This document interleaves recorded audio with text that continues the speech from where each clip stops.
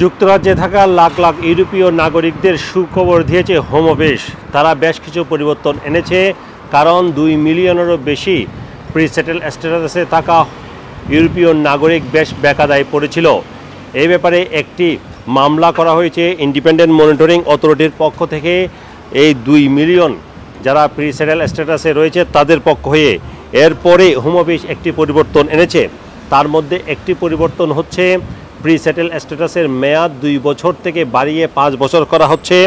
এছাড়া আরও একটি পরিবর্তন করা হচ্ছে, সেটি হচ্ছে অনলাইন পোর্টালে যেখানে থার্ড পার্টি একজন ইউরোপীয় নাগরিকের তার এদেশে থাকার স্ট্যাটাস, তার চাকরি করার অধিকার কিংবা বাসা ভাড়া নেওয়ার অধিকার যে চেক করে, সেখানে প্রি সেটেল স্ট্যাটাসের যে মেয়াদ উত্তীর্ণের তারিখ, সেটি বাতিল করা হবে, বাদ দেওয়া হবে, সেটি সরিয়ে ফেলা হবে। এছাড়া যারা বর্তমানে বিভিন্ন বাসা বাড়িতে আছেন কিংবা বিভিন্ন প্রতিষ্ঠানে চাকরি করছেন, সেসব বাসার মালিকদের কিংবা এজেন্টদের কিংবা সেসব প্রতিষ্ঠানের মালিকদেরকে তাদের কর্মী কিংবা ভাড়াটিয়ার বর্তমান স্ট্যাটাস চেক করার কোনো প্রয়োজন হবে না, সেটিও তারা বাদ দিয়েছে হোম অফিস তারা বলেছে, এসব পরিবর্তন অতি শীঘ্রই আনা হবে। এছাড়া একুশে মে একটি নতুন পরিবর্তন নিয়ে আসা হয়েছে। সেটি হচ্ছে প্রি সেটেল স্ট্যাটাসে থাকা ব্যক্তিরা আগে দুই বছর যুক্তরাজ্যের বাইরে থাকলে তার প্রি সেটেল স্ট্যাটাস বাতিল হয়ে যেত। কিন্তু সেটি এখন বাড়িয়ে দেওয়া হয়েছে। সেটেল স্ট্যাটাসে থাকা ব্যক্তি যেমন পাঁচ বছর দেশের বাইরে থাকলে তার স্ট্যাটাস বাতিল হবে, ঠিক তেমনিভাবে প্রি সেটেল স্ট্যাটাস থাকা ব্যক্তিও যদি পাঁচ বছরের বেশি সময় থাকে, তাহলেই তার স্ট্যাটাস বাতিল হবে।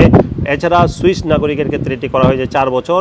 সুইস নাগরিক এবং তার পরিবারের সদস্যরা যদি চার বছরের বেশি সময় যুক্তরাজ্যের বাইরে থাকে, তাহলে তাদের সেই স্ট্যাটাস বাতিল হবে। ইন্ডিপেন্ডেন্ট মনিটরিং অথরিটি তারা জানিয়েছে তাদের মামলার কারণে তারা মামলা করেছিল কারণ যুক্তরাজ্যে থাকা দুই মিলিয়ন ইউরোপীয় নাগরিক প্রি সেটেল স্ট্যাটাসে থাকার কারণে তাদের অনেকগুলো অধিকার হারানোর ঝুঁকির মধ্যে পড়েছিল। বিশেষ করে তাদের দেশে থাকার অধিকার, তারা বাসা ভাড়া নেওয়ার অধিকার কিংবা কাজ করার অধিকার থেকে তারা অনেকটাই বঞ্চিত হতে হয়েছিল।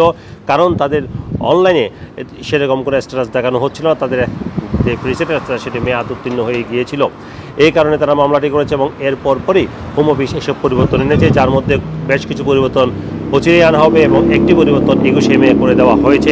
এছাড়া ইন্ডিপেন্ডেন্ট মনিটরিং অথরিটি তারা আশা করছে ইউরোপীয় নাগরিকদের ক্ষেত্রে অন্যান্য যেসব আইনি জটিলতা রয়েছে, সেসবও ধীরে ধীরে পরিবর্তন করবে হোম অফিস যাতে করে কয়েক মিলিয়ন ইউরোপীয় নাগরিক যারা যুক্তরাজ্যে আছে, বিভিন্ন আইনি জটিল- জটিলতায় আছে, তারা সেসব আইনি সমস্যা থেকে মুক্ত হতে পারবে, তারা স্বাধীনভাবে এই দেশে থাকতে পারবে, এই দেশে কাজ করার অধিকার পাবে। Sarwar Hossain, top news, London.